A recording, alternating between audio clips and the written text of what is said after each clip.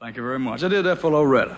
Speaking of Loretta and speaking of favorite songs, you two have got out a song that's knocking everybody in the country dead. This After the Fire's Gone. That's right, knocking me out too. Yeah, I know. Would you like to hear him sing it? Would you? Hey, Loretta, come here. Come here. I'm going to step out of the way and let you two have at it, okay? You ready? Okay. All right.